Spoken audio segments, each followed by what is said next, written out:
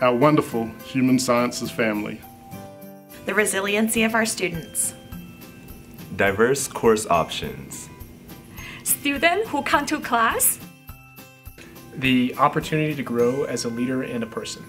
Kindness in light of a challenging year. The College of Human Sciences commitment to a safe and caring environment.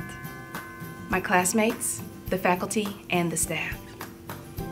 Our graduate students' dedication, tenacity, and drive to compete nationally, and the collaboration of other departments who help ensure our students' success. The shared experience with my colleagues, staff, and the students I mentor. Care and understanding of the human sciences faculty. The impact we have on secondary family and consumer sciences education. Leadership and support of our college.